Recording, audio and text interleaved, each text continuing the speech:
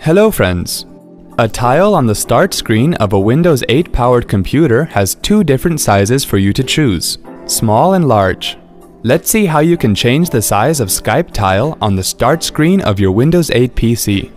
To make the size of Skype tile smaller, on the start screen, right-click on the Skype tile and then click on the smaller option that appears on the menu at the bottom of the screen.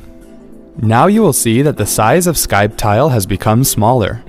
To make the size of Skype tile larger, right-click on the Skype tile again and then click on the larger option that appears on the menu at the bottom of the screen. Now you can see the size of Skype tile has become larger. Hope this was quick and easy. Thanks for watching.